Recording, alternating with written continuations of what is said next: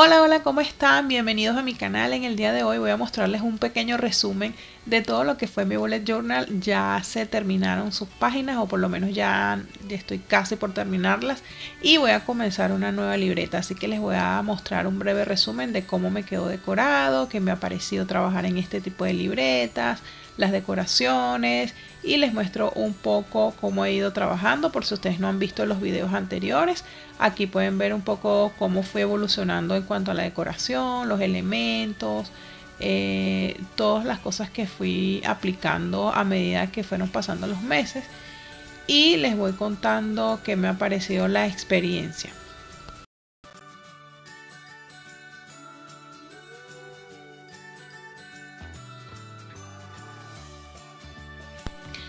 Hacer un bullet journal es de verdad muy divertido porque podemos jugar con los diferentes elementos, con las decoraciones, con los estilos que más nos gustan.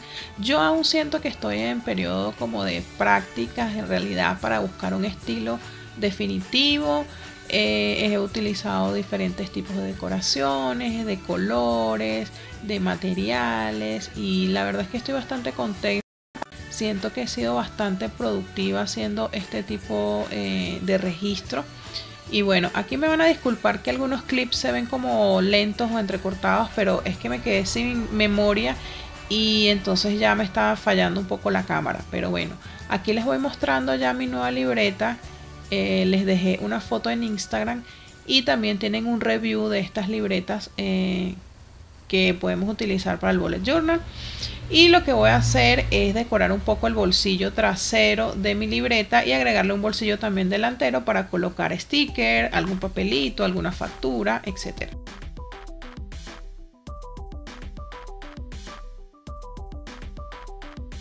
Para hacer los bolsillos voy a aprovechar los retazos de un proyecto anterior que es un portapasaporte, se los dejo también linkado por si no lo han visto y quiero aprovechar estos retacitos que me encanta este, este papel para hacerle el bolsillo también delantero donde podemos guardar, como ya les dije, facturas, etc.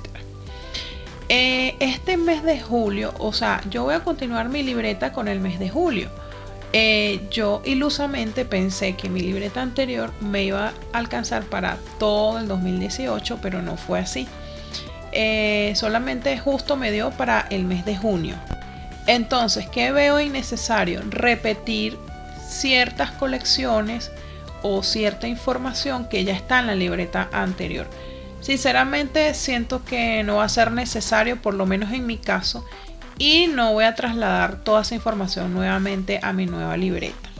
Va a quedar por allá el calendario anual, el registro futuro, las colecciones, los cumpleaños, eh, la información de mis redes sociales y toda esa información que siempre se va a mantener ahí.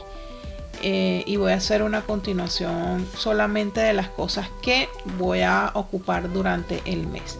Aquí iba a colocar índice y el cerebro me engañó e inmediatamente recordé que se podía colocar index. Lo he visto en algunas páginas de Pinterest y bueno, intuitivamente lo escribí.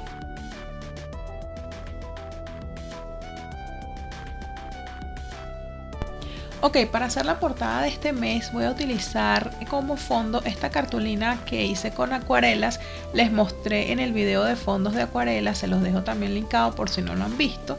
Y me encantó de verdad este efecto que me quedó y decidí colocarlo en mi portada.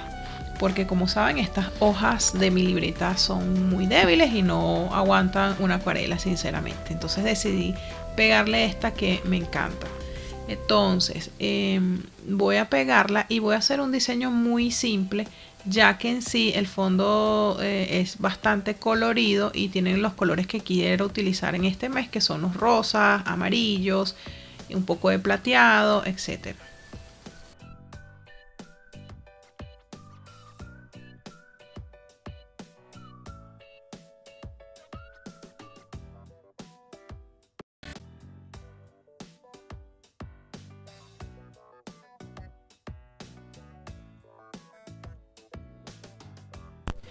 Quiero hacer un boceto de flamingo a propósito de que en algunos países se acerca el verano y voy a utilizar este lápiz para ilustrador que compré recientemente que por cierto lo, lo marqué con washi tape para evitar que mi niña de 6 años lo utilice para hacer sus dibujos.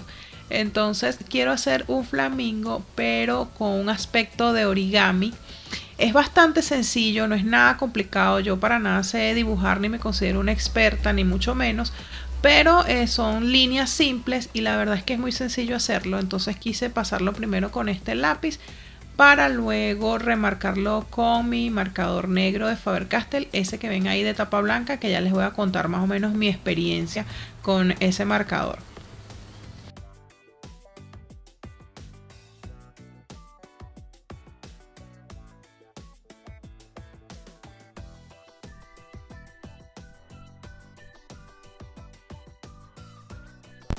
Si han seguido mis videos de Bullet Journal desde el principio, ya sabrán que he pasado por diferentes tipos de bolígrafos marcadores para hacer mis registros en el Bullet Journal. Estuve utilizando un estabilo durante bastante tiempo y me fue muy bien, pero no era de tinta permanente y cuando hacía algunas manchas con tintas o quería colorear de diferentes materiales, la tinta se corría y opté por comprar un Faber-Castell más profesional de tinta y la verdad es que es estupendo, es de excelente calidad, me encanta ese bolígrafo, pero lamentablemente con una mandala, al tiempo después se obstruyó la punta de mi Faber-Castell y la tinta no fluía lo suficientemente bien, a veces dejaba rastros grises y se estaba secando la punta. Eh, y eso se debe a que lo utilicé sobre una superficie porosa como es eh, por encima de los acrílicos y eh, se estropeó la punta. Y bueno, ya después no pude conseguir uno igual a ese.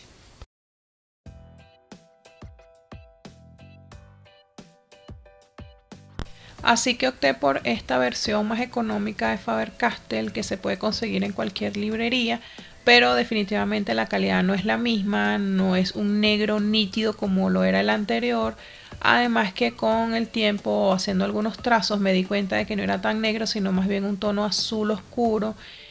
Y la verdad es que la calidad deja mucho que desear. Es bastante económico y la verdad es que no estoy muy contenta con él. Así que este mes intenté cambiar y utilizar un poco más mis estabilos eh, de colores. Por eso es que decidí, que fue mala idea, hacer este calendario mensual con el estabilo en color gris pero los estabilos para hacer este tipo de líneas ellos dejan un sangrado o se corre la tinta al dejarlo un segundo eh, puesta la punta sobre el papel y el efecto que dejan no me gusta.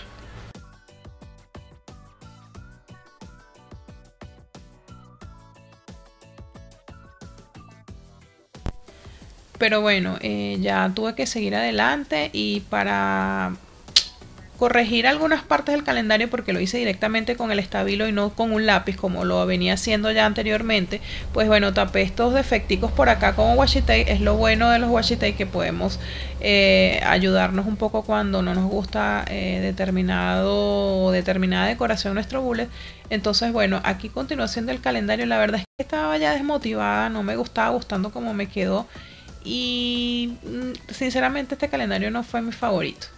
Eh, Hice de todo para evitar utilizar el, Faber-Castell en color negro y así que empecé a escribir todo con el color fucsia eh, los días de la semana y al final sinceramente no me gustó pero bueno eh, traté de mejorarlo lo mejor que pude y bueno ya van a ver algunas cositas que le agregué para por lo menos compensar un poquito los errores que cometí al realizar este calendario.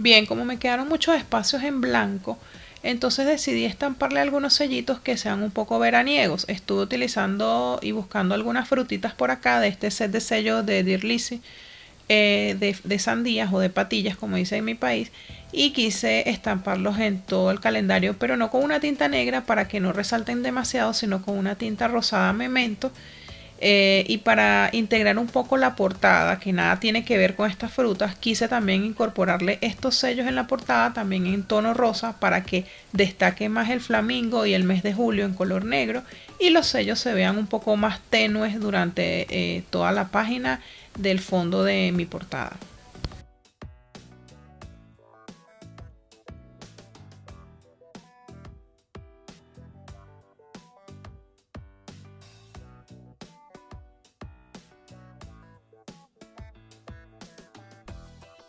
Y así de sencilla me quedó mi portada del mes de julio. El resto del mes me quedó igual a los meses anteriores con las mismas disposiciones.